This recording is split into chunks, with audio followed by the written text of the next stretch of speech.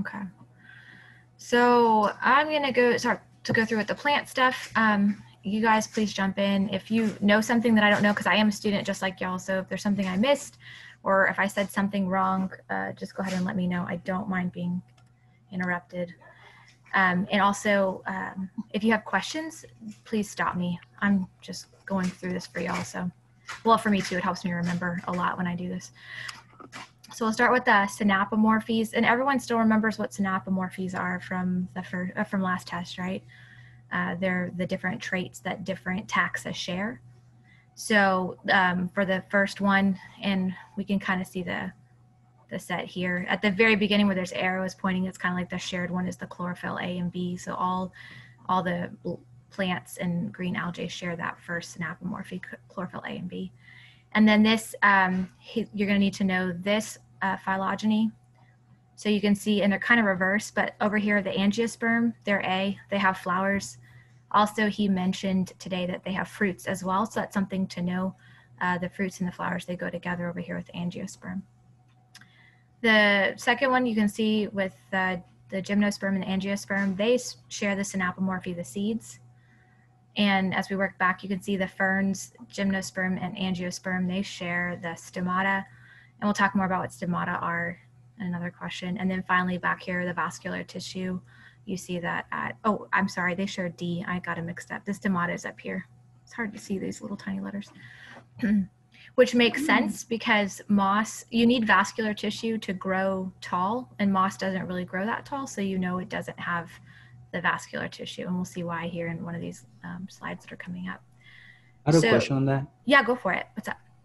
Um, so on that chart thingy that we just went over, so like B right there, which is stomata, does that mean that mosses, ferns, gymnosperm, gymnosperms, and angiosperms have stomata? Yes, they all have stomata. That's what they share that that um, that green algae up here does not have. And do you know why they have stomata? What why the green algae wouldn't and these four would? Um, does that have to do with the with the water?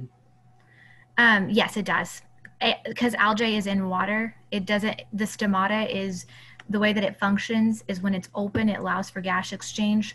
But when the plant gets low on water, the stomata close, and when they close, it prevents water evaporation from the plant. Well, green algae doesn't have to worry about that. Um, somebody asked uh, if you mix A and B. No, it's just the way that he has it listed. So if you look on A, he has it over here with angiosperm, and then B is all the way back here at the beginning, and it's stomata. And then C is here, which is seeds, and then D is here, which is vascular tissue. I think he did that to kind of make you learn them, and so you don't learn them in order. You actually know why each has each synapomorphy. That makes I hope that makes sense and answer that question. Okay, so the cuticle and the stomata, here we go with the stomata again, um, adaptive for the organisms. So the cuticle is important because it's this waxy covering on the leaves that actually prevent uh, evaporation. So that's a, all, we know that all life began in water. So in order to move to the land, they, these plants had to develop adaptations that allowed them to survive on land. And one of them is they had to retain water because life is in water, right? Um, so the cuticle, that waxy substance, it prevents evaporation um, and it keeps the plant from drying out. So it kind of creates that water condition that the plants had before they moved to land. And then the stomata, like I talked about, it's on the underside of the leaves. And it what it does is it opens and allows for gas exchange into the plant because of course we know plants need CO2 to make to make their sugars and they need to release oxygen into the air. So that that exchange happens, but when the plant gets low on water like I said before, those those will close and they'll keep the water from evaporating. Now the vascular tissue, that's an interesting thing here because what it does is is it's that one in the synapomorphy I was talking about, it allows plants to grow tall because these cells they, they grow and then you'll see this like here in this vessel element at functional maturity the cells die which means they hollow out and they allow uh, water to move through this vessel. And so you can transport now you can transport water from the roots all the way up to the leaves. And so plants can get tall. They're not stuck on the ground anymore. Um, and that just and you can see the different ones here from when it, it when they started out and how they've changed in, in different plants. So let's see. Again, like I said, he he kept saying it cells. The cells in the vascular tissue, they're dead at functional maturity to allow. Because if you think of like he was saying, if you if you have all the organelles in the way, then the water can't move through the vessel to get to the to the other parts of the plant. So the seed is an adaptation to the terrestrial environment because again, everything began in water, and so you still need that reproduction to kind of happen in water. So what you've got is you've got um, this these seeds that have this that it's like an amniotic egg almost. It's got it's got the water built into it. It's got it's all its nutrients in there. So in these water filled sacks. and so the, the seed can actually survive without being in water because it has water contained inside of it and i added these things like the micro micro microsporangia because those are the sperm and the megasporangia those are the eggs and so i just added those into this because i thought they they might show up um, but here's here's how the seed is broken down and so you've got the per- so you can think of it like that like he really they compared a lot to the amniotic egg with these three traits. You got your protective waterproof covering so it's kind of like the shell on an on an egg. Um, and you have your nutrients and the nutrient delivery system that's in the endosperm in a, in the seed. Um, and then you have your embryo in there. Oh and he asked um, what else did it ask so why do ferns? Ferns and moss need water for reproduction because the um, the way that they're designed is that the water will come onto the onto the different seed, um, sperm and egg, and it'll actually move the sperm. The water will move the sperm to the egg. Whereas with like uh, the pine and the trees and the daisies, it they need wind to spread their gametophytes out. Uh, let's see, somebody has a question. Yeah, yeah, absolutely. You guys stay as long as you need to. It'll, I'll post it up on my YouTube page again when I'm done. so I hope that that makes sense. The water just moves the gametophytes in the ferns and moss, whereas the wind does it in pines and flowers. So the alternation of generation, I noticed it's kind of a hard one. He was talking about how it kind of trips people up. So I went ahead and put the little slide in here so it's easy to see. Um, and you can see, so this is you see the 2N with the pine tree, that's because it is the, um, it's the sporophyte, it's the diploid. So meaning it, it's got the two, the two chromosomes. So it's, it's a diploid. Um, and then it, but it's got these cones and it's got these, the, so the male and the female cones. And so this is, I'm gonna see if I can, my eyes are getting old these days. So I'm going to see if I can pull it up and show a little bit better. So you've got the microspore, and like I said, the microspore, and the reason I wrote it earlier is because that's the sperm. So here's your microspore, spore, it's coming out, and here's your megaspore coming, and then they are, for the wind actually moves them so that they're fertilized, and then this becomes, um, this is your haploid over here. So remember the red is going to be diploid, and the blue is going to be haploid, and you're always going to look for, if you see N, N is the haploid generation, and 2n is the diploid generation. And so this is the alternation of generations. You've got one generation, two generations, one, and then they go back and forth. And then it's a little easier, I think, to see. And oh, did I not put? I didn't put the fern in here. I think it's a little easier to see in the in the fern, but it's interesting because you've got they're living in the same plant basically. Um, you, you've got the the first generation and the second generation, they're kind of living together here as they're they're being pollinated, they're living together. And that's kind of the thing with these, with like the ferns. And I didn't. I wonder if I can pull up the, because it's kind of easier, I think, to see with the ferns. Yeah. Okay. So that's the little, the alternation of generations simplified with the sporophyte, and you can see the 2N, so you know it's a diploid.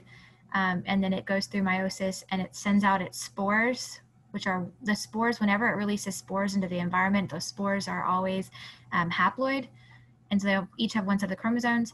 They then are, um, the gametophytes, they're, they're um, haploid here, so they only have one copy and they undergo mitosis again, or sorry, these guys undergo meiosis. These guys go undergo mitosis, and then they get fertilized. The gametes do. Fertilization makes you your your diploid zygote once again, and then it grows into a sporophyte. And so they just alternate between this is one generation is your sporophyte, your two your um, diploid 2n, and then one generation is your gametophyte, your 1n, your haploid generation.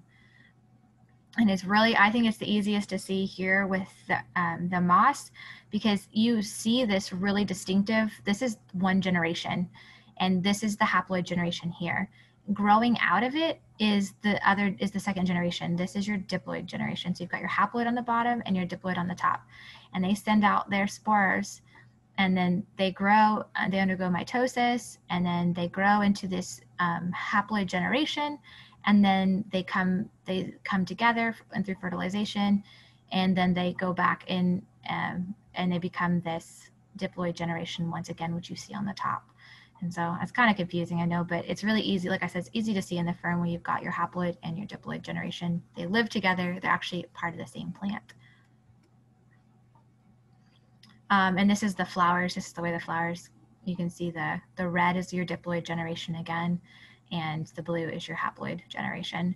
And this is your micro uh, sporangia, which is your the sp- uh, sperm, and then they come in and they pollinate the egg, which is your megaspore.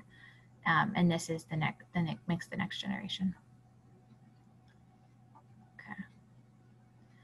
So pollination syndrome, super easy. Uh, it just has to do with a plant, a, one plant developing a type of trait that attracts a specific type of pollinator. So you've got like the carrion flowers, they smell like rotting flesh. They bring in those carrion flies and the carrion flies then pollinate um, the different carrion plants because they take the pollen and they move it around. Same with the hummingbird and bee pollinating plants. It's just a trait that each plant has that makes it um, makes it more likely to be pollinated by a very specific um, animal. The ecosystem services, this is kind of actually really interesting in my opinion. So you've got plants that are, um, I'm gonna go through the slides on this one because I think that it's easy to see what the slides do. Oh, look, and that's the, this is the fertilized egg. So that's, that's an easy one to see where you've got the protective coating and then the, the liquid and the embryo in there. Let's see. So first of all, um, when when we're talking about the ecosystem services, so this is just what our ecosystem does for us. Um, and so one thing is it maintains the atmosphere, and it does that by producing oxygen for us to breathe, and then taking CO2 out of the environment for us.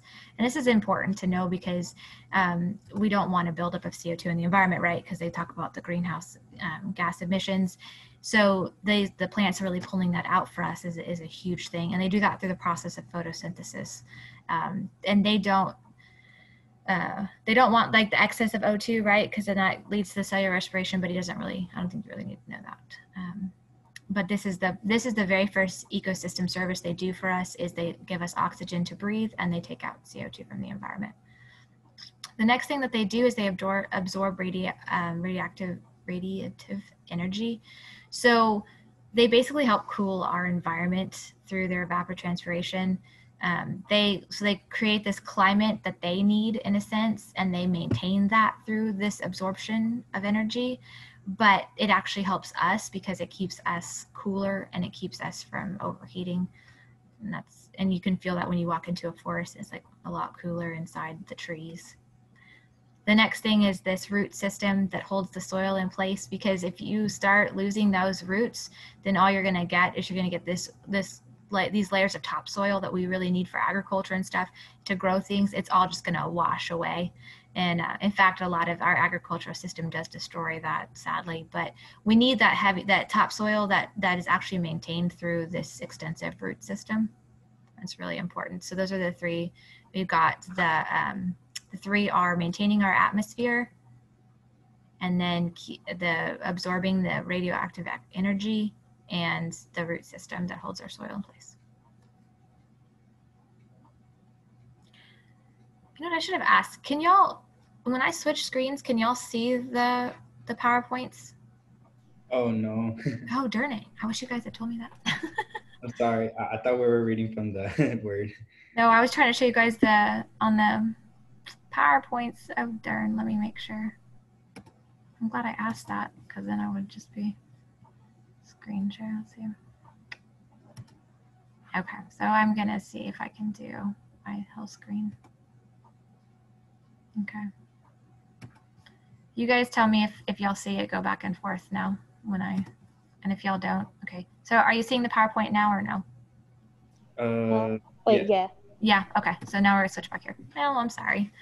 If you guys want me to go back through and show you any of the slides again, let me know and I'll redo some of anything that you want me to redo. Actually, let's go ahead and do that one real fast. I'll just show you the, the alternation of generations because that one's really, really important. That one's gonna that one's gonna be a lot on the test, I think, and it really is, is a huge key. Uh, let's see. So the fern, I was I was going here with the sporophyte and the 2N. That's your um, your diploid generation right here. It undergoes meiosis, creating the spores, which are haploid. It releases those haploid in, and you can see the N, and so you know it's haploid. And then it creates these gametophytes. These are a haploid generation again. It undergoes mitosis to create more cells. These are your gametes. They get fertilized, and you're back to a 2N. So your alternation of generations is where you have um, you have the the diploid here with the 2N, and then you have the haploid with the one, the single N. And like I said, with the ferns, you can see it really clearly with this the the really tall stalks here being the haploid generation, and it actually lives um, this like relationship with this 2n generation. That's the second generation. So you have your haploid generation on bottom and you have your diploid generation on top. And so you can see this alternation of generations they actually live together. And the same with the fern. This is you've got your one generation here and then your second generation it's kind of it's down here.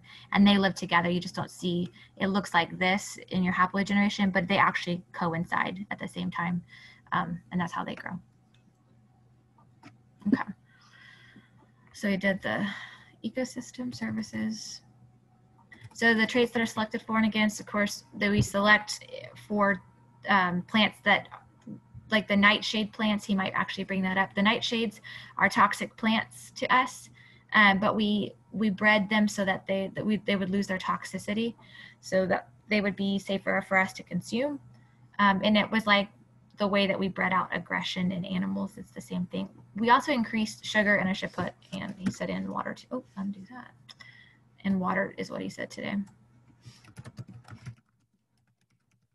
So increase we increase sugar content and water content in our fruits and vegetables. So there was a there was a slide showing the peaches and how they swelled and that was because we selected to make peaches uh, a little bit fuller.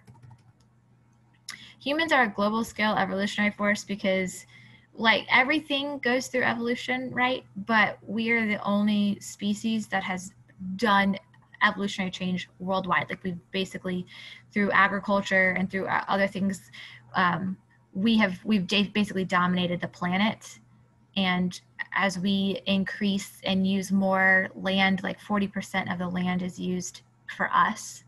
40% i'm sorry 40% of global photosynthesis is used for us.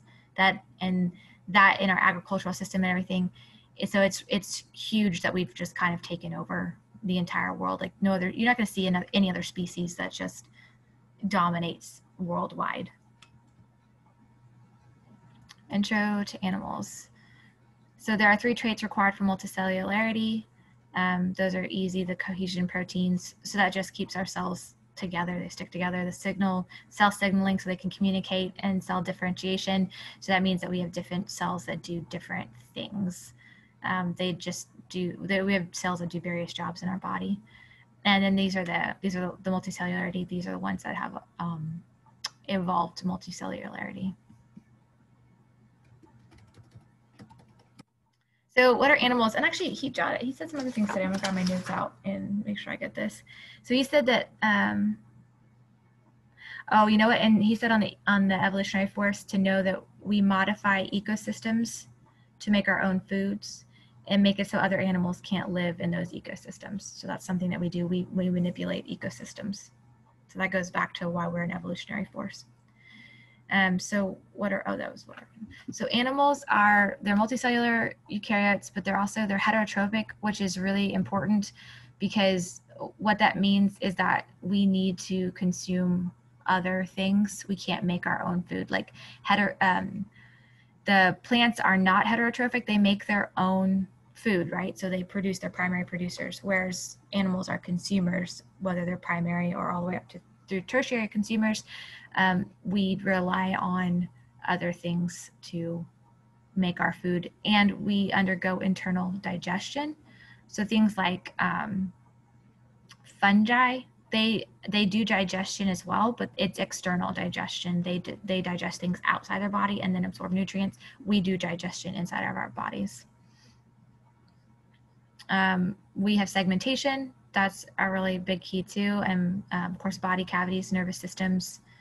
So the I think we talk about all this stuff a little bit more in detail.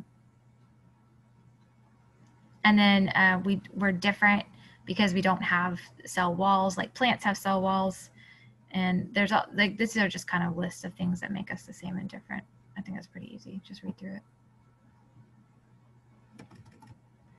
closest living relative to animals of course is this uh, the, the choanoflagellates and um, within the animals the sponges are basal clade do you guys remember what the basal clade is anybody need help with that one Uh, no, I don't remember. So the, the basal clade is the one that uh, it's still in our group. Here, I'm going to pull up a slide and show you because he's going to, I know he's going to ask something about a basal clade. So it's still in the group of animals, but it's like the first split in the group of animals. So we'll go down here. Um, where's my animals? Um, so here we, if you guys, y'all can see this, right? The PowerPoint Yes. the, the out group here, if you can see where the animalia, they, they cuts off right here, right? So our out group is the choanoflagellates, right? And then the sponges are our, that's our, those are our basal clade because they don't, they, they just have like one synapomorphy that just kind of, um, see it just, the sponges are way up here. They had like this one synapomorphy and then they were selected out basically. And so then that, because because they only had that one synapomorphy that kind of has the same as the rest of the anim- of the animalia, then they become the basal clade. And uh, once you go into all these other synapomorphies, this is where the majority of the of the clade actually is. So you're always looking for that that very first. Not your you're gonna always have an outgroup.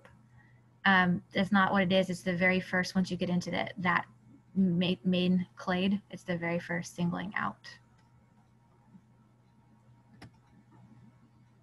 Um,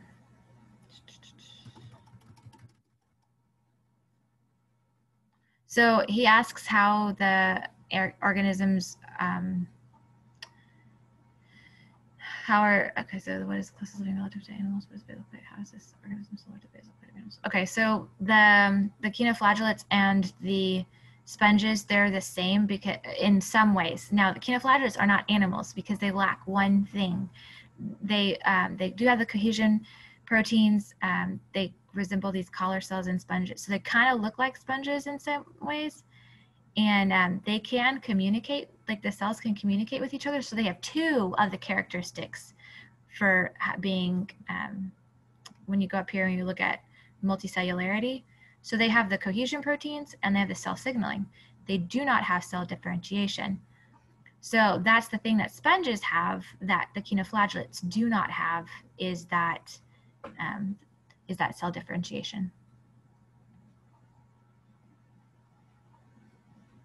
Symmetry. Uh, this is this is tied to the diploblastic, and uh, when you look at the radial, so radial are diploblastic, meaning they have two germ layers.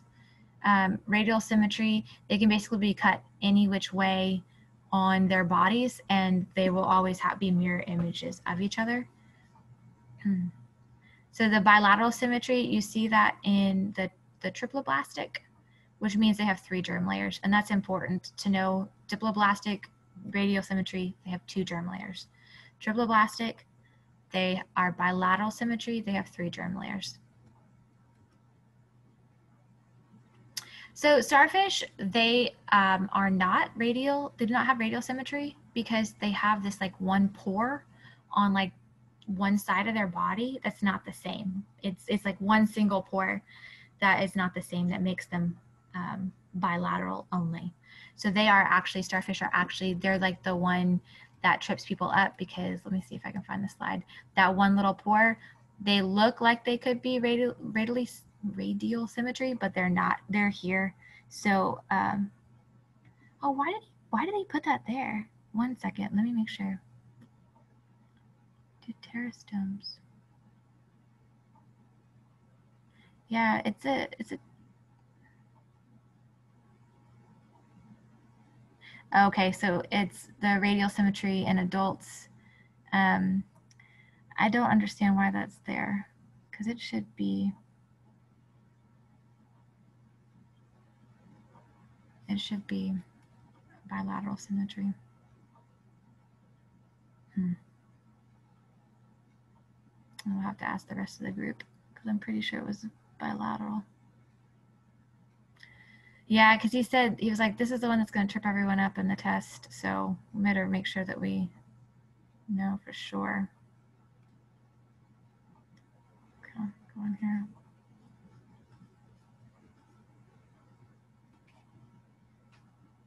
Chondrium, sea star, sand dollars, deuterostomes, segmentation. Let me look at this little test thing that I have because they have, yeah. See there, yeah, on the um, on on the homework activity that we did, starfish are. It said starfish had bilateral symmetry on our radial I- symmetry. I looked it up and, and it says the sea stars or starfish. It says they're classified as bilaterally symmetrical, even though their adult forms are radially symmetrical. That's what I thought. Okay, thank you for that clarification. Yeah. So that's the one that is really going to trip people up on it because they're they are bilaterally symmetrical, and it's that one little pore that he was talking about that they have. Um, good question. Thank you for clarifying that. Now we all know. Um, and so the bilateral symmetry, this the animals that are bilaterally symmetrical have these three traits: the triploblastic, the three germ layers, cephalization, meaning that they have a head, um, which allows for this cer- in the central nervous system, and this the coelom, which is the body cavity. So those are the three main traits, and there'll be some more information about what those are here. I think in a little bit. Yeah. So uh, again, we talked about the germ layers, two germ layers, three germ layers. Um, those those you'll need to really know for the. I'm sure he's going to ask that one. The cephalization is where you have a head at one end of the body.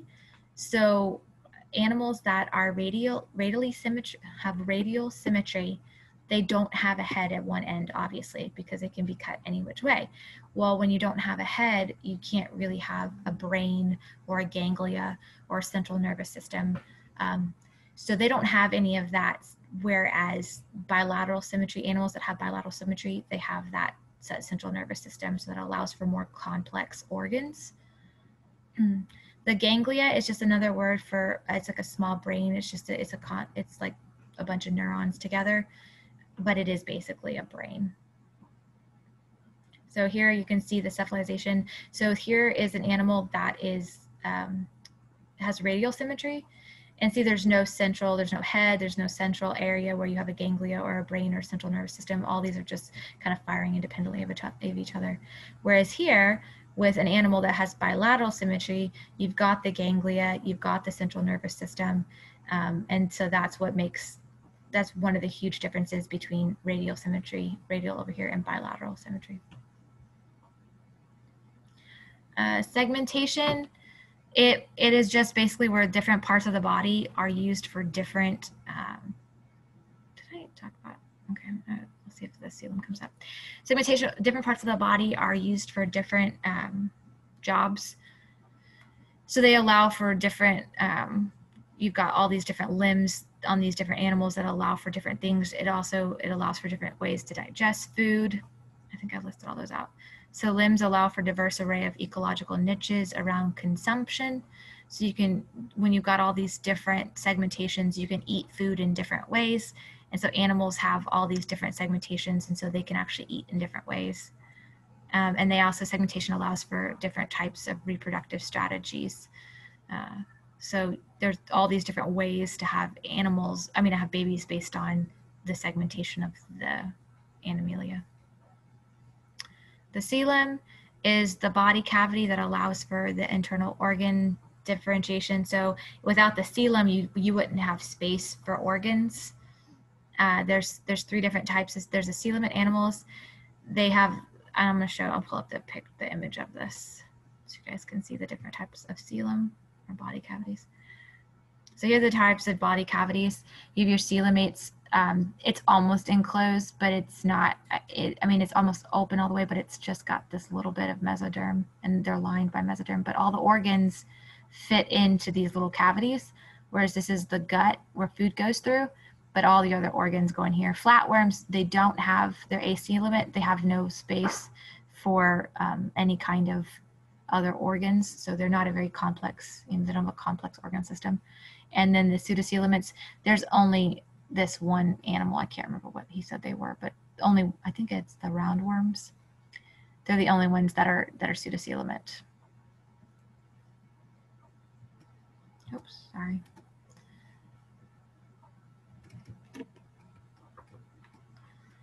So you have your first major split with the bilateral animals. Um, they're the protostomes and the deuterostomes. Protostomes, they have the blastopore. Uh, we'll open that up here too. So you got the, so you got this, this is your, your blastopore. It's all your collection of cells. I'm sorry, this is your, um, I'm sorry guys. The blastopore is right here. This is your collection of cells. And then the blastopore is where they begin to indent. And that very first indentation, if it becomes the mouth, it's a protostome. But if it becomes the anus, it's a deuterostome. So it's just basically, is it forming the front of the body or the back of the body first? And you can see that here, the, protost the protostomes in this little um, area right here, these are all the protostomes. So there's a lot more pro protostomes than there are deuterostomes, but we're over here. We're actually gonna fall under this, uh, the, the chordates. We'll come down and branch out of the chordates. So we're here in the deuterostome lineage of the animals. And we'll see kind of the, when we, it'll go further into that little breakdown in, in a little bit. Chapter 13 already. So he was talking today, what is the most diverse group of animals? Well, it could be insects, but he also said it, there was a lot of options. So I'm gonna go show the, uh, the different kinds of options. He's like, there's gonna be a couple of possible answers. So 90% of all animals are protostomes. That could be one answer depending on how he asks the questions. 75%. So remember protostomes, when you have the blastopore, it they've it's forming the mouth first. So 90% of animals form the mouth first. They're protostomes. And out of those protostomes, 75% are insects. And out of those 75% that are insects, 40% are beetles. And so he said it depends on how he asks the question. Any of these answers are potentially correct. So just make sure you're reading the question and you know exactly what he's asking you for um, before you answer that question. I would read it a couple of times and make sure when he asks the animal so, question. Yes. So the answer could be protostomes or insects or beetles? It, it could be. He, he said, depending on, so here you can see all the red. If he asks you about any of these, the, the myriapods, the crustaceans, the whatever this one is, and the insects, which one makes up the most, you'd be, you know, you'd say insects. And so there's a kind of, there are, he said there was three possible answers depending on how he words the question. Okay, thank you. Yeah, he said that today in the in the review.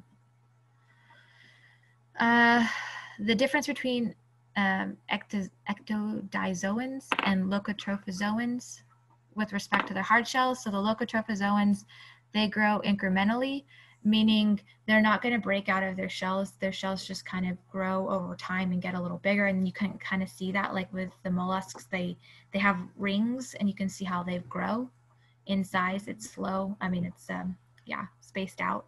Whereas the ecto, sorry, the ecdysozoans, they grow by molting. And so they're the ones that have exoskeletons. They break when they get too big for their exoskeletons.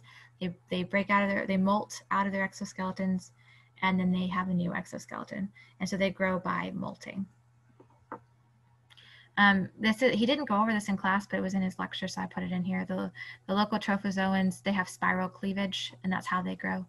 Um, the ecdysozoans um, have radial cleavage, and I'm going to show you that slide just so you can kind of, because he didn't talk about it, but then he kind of mentioned it in the review.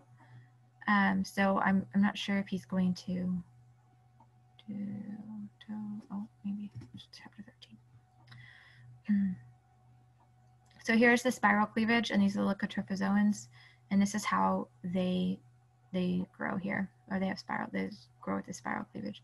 Whereas this is this is the egg ecdysozoans. They grow with the radial cleavage. And so that's what it looks like in case he shows you pictures on the test and asks you what it is. Uh, there is, this is a photosynthesizing animal. There is, the sea slugs can photosynthesize. They're, they are an animal that photosynthesize. And then how does segmentation explain arthropod diversity? So arthropods are, they're segmented. They're, each of their parts of their bodies, they do something special and they have like different, so we'll go here with this, um, I'll show you the picture. So here's arthropods, like you've got abdomen, you've got all these different parts that this segments of this animal all do different jobs. So it's not like a worm, you know, but there's actually all these different segments like the legs and the body. And here you've got the head, the thorax, the abdomen. You've got all these segments that perform different body functions. And so because arthropods, there's so, with arthropods, there's so many different segments of the arthropods that each animal, there's just like a vast number of animals that can do totally different things because of the segments of their bodies, the different segments of bodies. Oh, and that was another thing that he, um, he mentioned might be an answer the arthropods because they're they're another really large group and i'm going to see if i can pull let's see where's the where's the phylogeny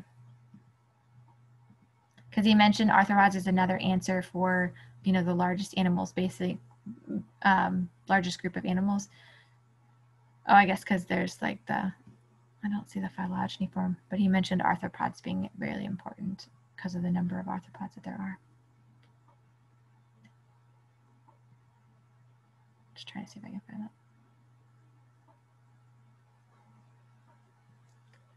Huh. I don't see that phylogeny. I guess it's here, so you can you can see where it branches off. And this is, I mean, there's a there's a rather diverse group of the the arthropods. It's huge, and so they're another they're another large group of animals um, and you and they're the ones that have they have body segmentation which is really really important to know i'm looking at these phylogenies making sure there's nothing else i need to adjust okay. When in doubt always look at the phylogenies and you can look at like the synapomorphies and where they branch out and you can kind of see what animals group together and kind of what's important by looking at the phylogenies because they're they're pretty much tell the whole story. Um, so these are the, the two most diverse lineages of the deuterostomes. Um, are the echinoderms and the chordates. So they, and in case you don't remember already, the, deuterostomes, they have the blastopore becomes the anus, and that is the deuterostome lineage. And the chordate is the largest clade in this group. Uh, so we'll go, I'm gonna go show you for the animals this clade because these are another are important ones to see. So you've got, uh, these are the protostomes, right, that we talked about. And they include the arthropods, the insects. This is, and you can see how much bigger the protostomes are, their group is, than the deuterostomes. We're a much smaller group than that. Um, and these are echinoderms. They are exclusively just the starfish, urchins, and sea cucumbers. That's all that you're going to find in this echinoderm clade. Uh, they have the spiny skins, that's what their name means. And you can see all the different things here uh, that they have where their larvae have bilateral symmetry. The adult echinoderms are radial, radially symmetric, and that's what we found with the, the starfish. But here's that pore that I was talking about that makes them arguably bilaterally symmetrical. Um, so they're going to be even though they are even though echinoderms are bilateral when they're adult i mean a radial when they're adults they have the larvae larvae that's bilateral. So that's what trips people up there. Here we go the chordates. I think that was what the question was about. Go back to it. Yeah the chordate is the largest clade includes some basal clades including the vertebrates. So um, the vertebrates are our ancestral lineage and um, we are in the chordate monophyletic group, which was what I was saying. So you can kind of see where we start to branch off down here. So this is the, the chordates. come here. And I mean, we're such a small group. By the time you get down here and you're finally getting starting to get to us, like we're so small. Like the main part, yeah, what we think of as animals and humans and stuff is so small.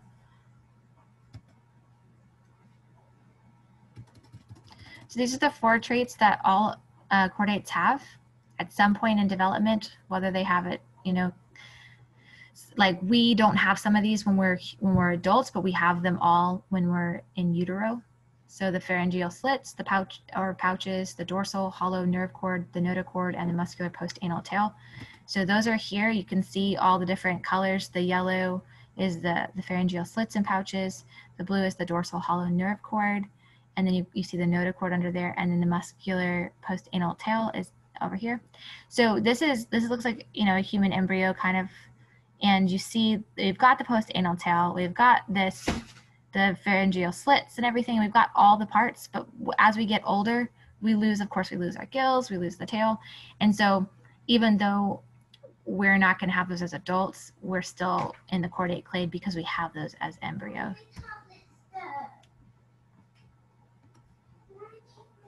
One second, guys.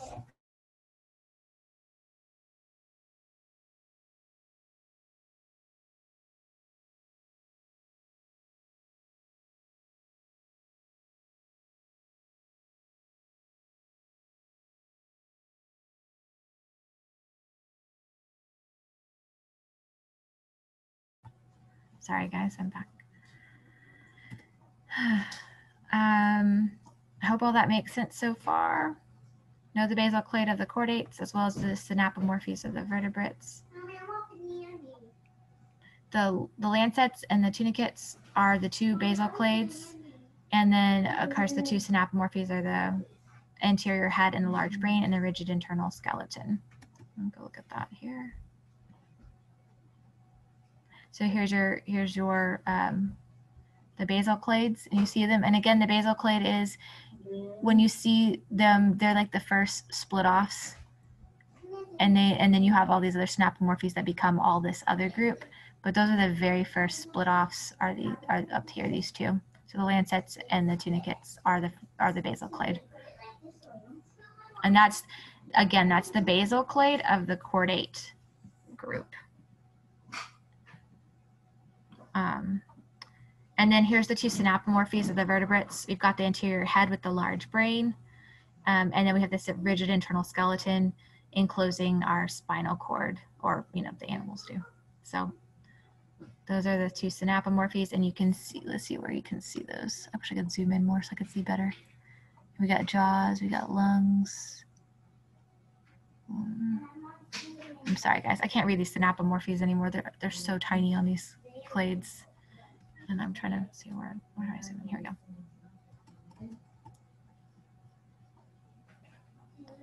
Trying to, trying to see where these synapomorphies happen. So here we go. I, is that the vertebrate that sends organs? That's they don't have it. They don't have it. Lungs. Do any of you guys see these synapomorphies on here that I'm missing? I'm not seeing.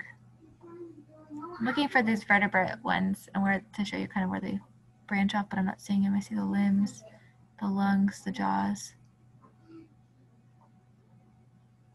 Oh, here's the, I'm sorry, here's the cranium. Here it is. It's all the way up here at the beginning. So we have the cranium and the vertebrae, the paired sense organs. So we've got the synapomorphy here. Which is interesting. So then we got the hagfish and the lampreys are up there. Question. Yes, go for it. Oh, so in that, in like as an example, in the chart we were just looking at, Yes. um, if we were to be identifying the basal place for this, would it be the flag, the lagfishes and the lampreys? really? That depends on what you're looking at. So that would be like the basal clade for this group. They're actually included in this, the vertebrate groups. They're actually included because they're vertebrates. So Mhm. They're not, um, they're, the basal clade's going to be up here for this group. But Oh, if you were looking at, if you were looking at this group here, I can't even say that word, the Gnathostomata or whatever, then they would be the basal clade for this group, if that Oh, makes okay. sense. Yes. It's the one that's not included in what you're looking at. It's the very first split before what you're looking at. Okay, thank you.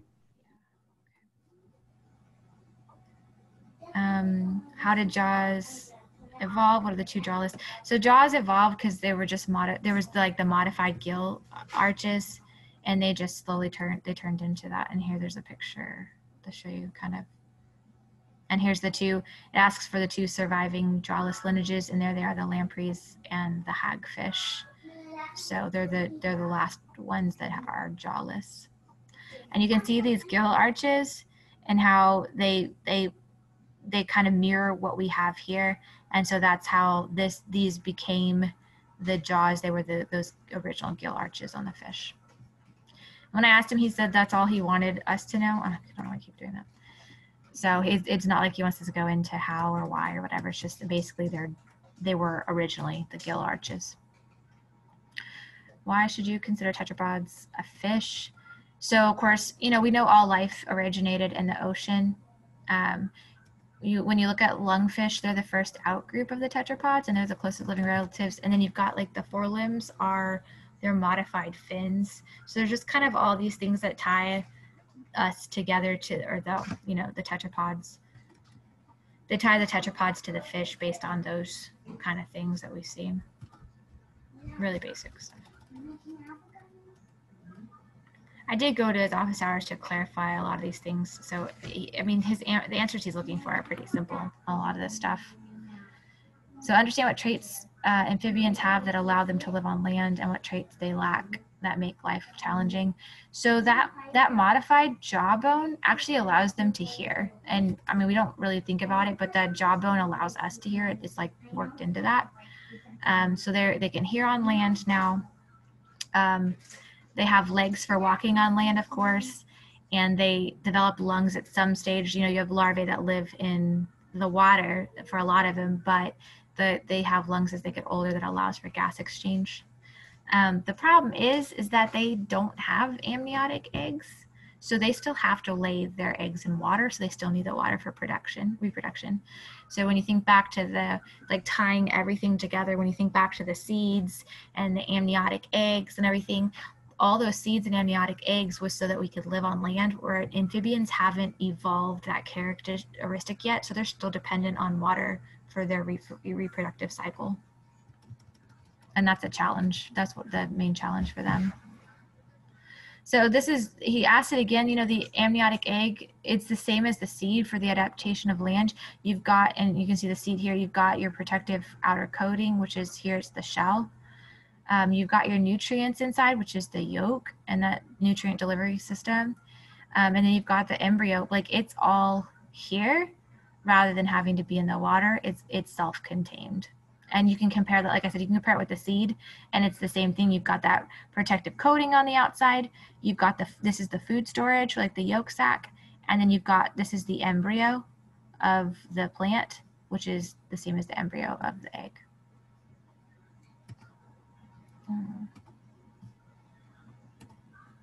Okay.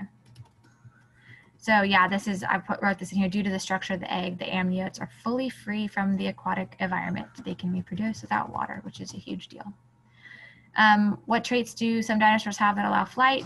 It's all of these traits, and I'm gonna show you the slide because that's, I, I put the slide in here for this one because I felt like it was really important. Um, he, he said he's gonna, all these traits are important. You've got feathers, the way that the the snout and the brain and the eyes are, um, this elongated sternum here, though uh, they produce heat in their tissues and they have these hollow bones. All birds we know are dinosaurs, right? So all of these traits between the feathers and everything else that this bird has going on that gives this bird their this dinosaur flight. Um, and they all play a role. So it's not just the feathers. So I feel like he's going to be one of those multiple choice questions when they ask what traits allow for flight. Come to this slide and make sure you're checking your traits because it's more than just the feathers. It's, you know, you got to know that your hollow bones and the structure of the head and um, just know all the all these traits that allow for flight. I'm pretty sure it's going to be a multiple choice question. I'll be I will be flabbergasted if it's not a multiple choice question on the test. Uh, so the amniotic egg we know is internalized with tetrapods like us, um, because you know, like the chicken, whatever lays that egg that we saw earlier, but inside of us, this the all of everything that that, that embryo needs happens inside of us rather than we don't lay an egg. We actually have that in our uterus and we've got the, the protective coating you know we've got the the water actually here. And there's still a yolk sac which is an interesting characteristic because that that egg is attached to the mother's uterus and it's actually getting nutrients from the mom. Um, but it still has a yolk sac which is interesting right? So that's how we've internalized this is this is the slide that you need to know to know that we've internalized these eggs and they're attached to our uterus now. And that's how we actually hatch eggs in a sense. What makes mammals unique and um, a lot of people would jump on and say well fur and lactation? Yes fur and lactation make make mammals unique.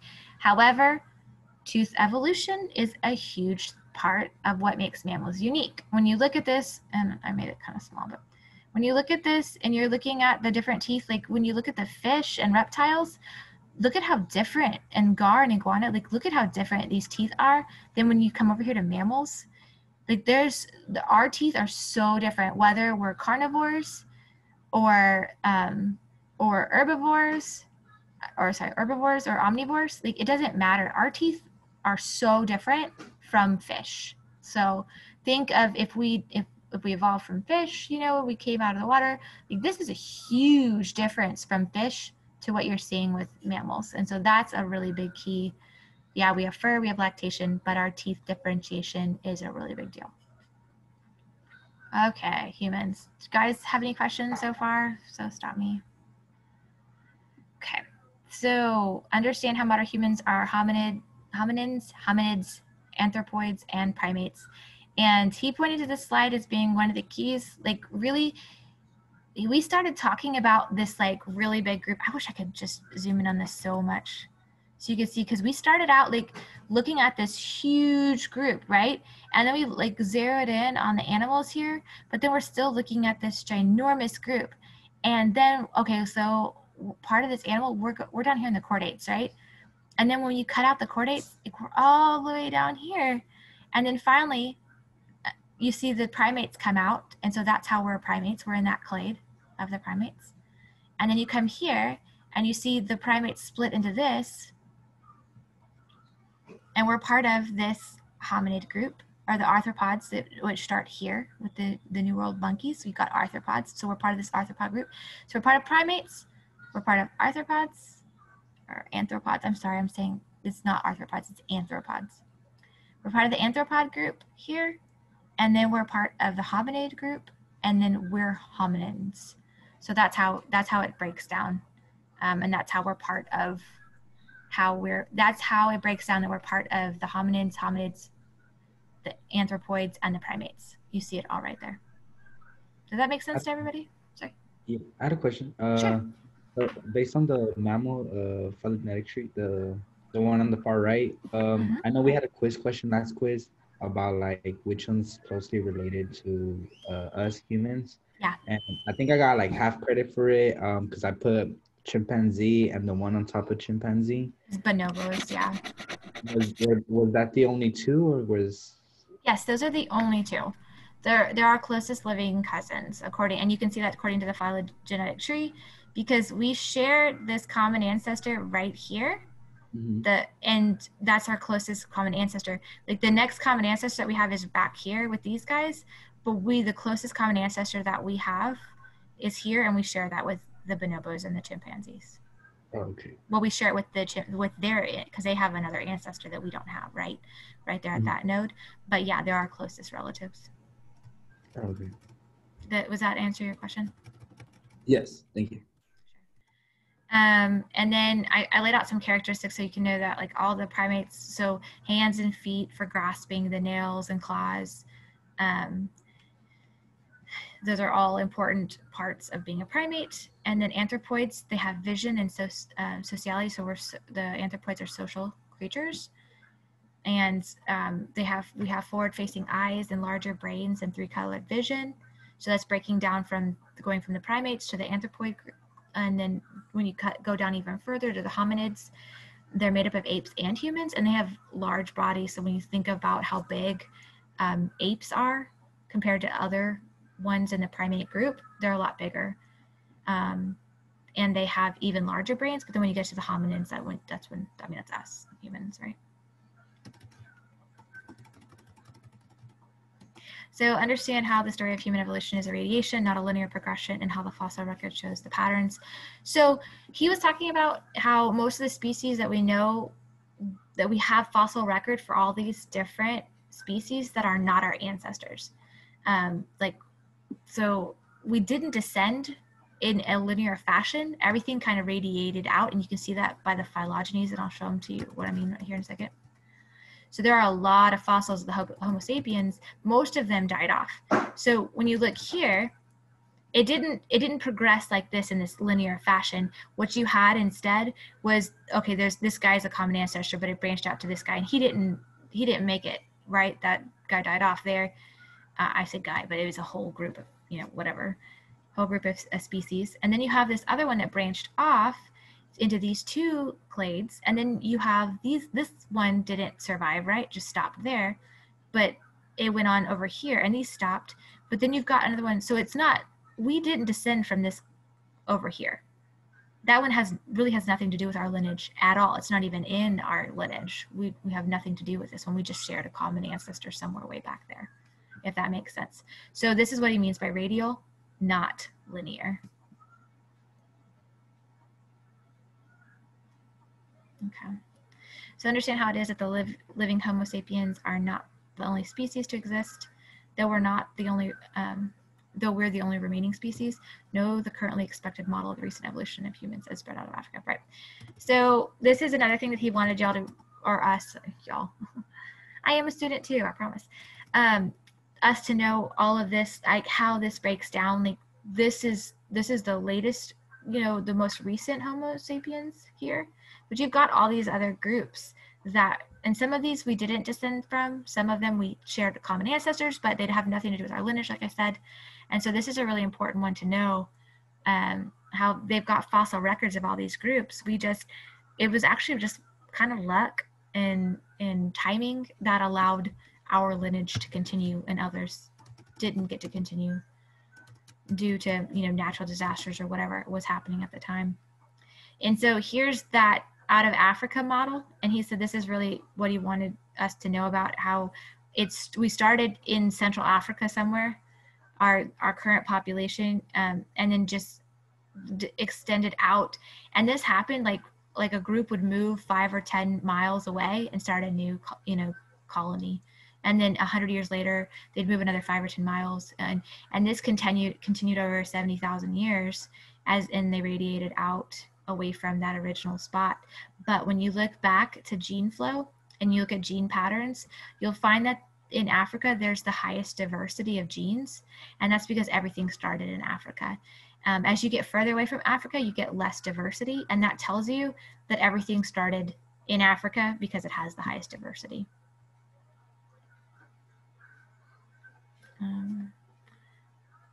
So this is the last question, and this was kind of the one that he went over today. And it was kind of a few things that he was talking about how uh, understanding how culture influenced um, the evolution in humans. So the what we saw with with humans is that you've got these groups making they're banding together into small you know maybe 150 people and they're mostly families.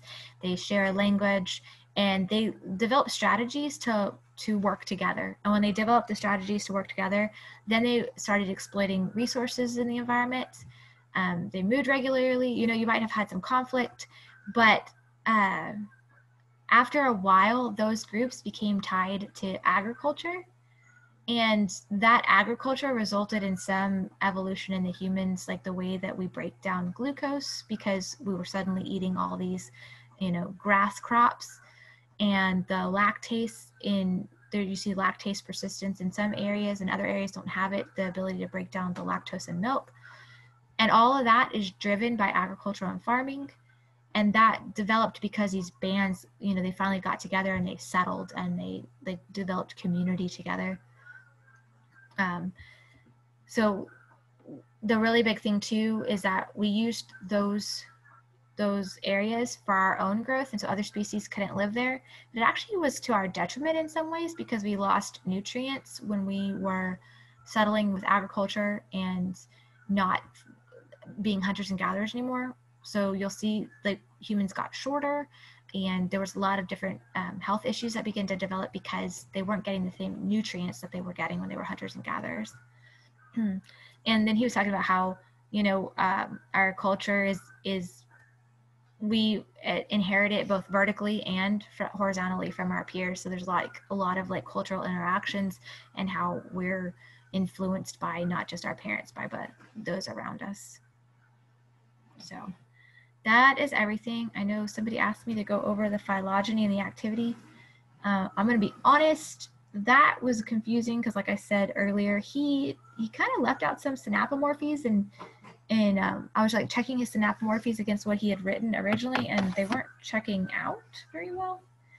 But um, I, I can try and and go over it the best that i can if, if you guys are interested in me doing that. Let's see if i can. Yeah. Sure thing. Um, does anybody need me to go over the uh, the phylogeny, or is, is everyone cool? Because if you are, I'm just I'm not going to do it. it. I thought it was really confusing. I mean, I'm good. You good? Okay. Well, um, I know a lot of people are going to listen to this, so if you have questions about it, I don't mind going over e- with anybody else who has questions who listens to this. If you if you want to check in, I can go over it with you one on one. I feel like explaining it in a group setting would be kind of difficult, just because it is really extensive. Anyway, I hope this helps. Let me know if you guys have questions. Thank you so much. Sure thing. Thank you. Have a good night. You too.